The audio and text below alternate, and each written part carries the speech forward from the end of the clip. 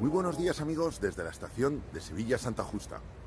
Dice Seth Godin que el coste de equivocarse siempre es menor que el coste de no hacer nada.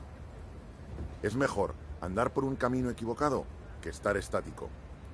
Así que si te estás equivocando, no te preocupes, al menos te estás moviendo. Y eso ya es mucho para los tiempos que corren. Que vueles bien esta semana.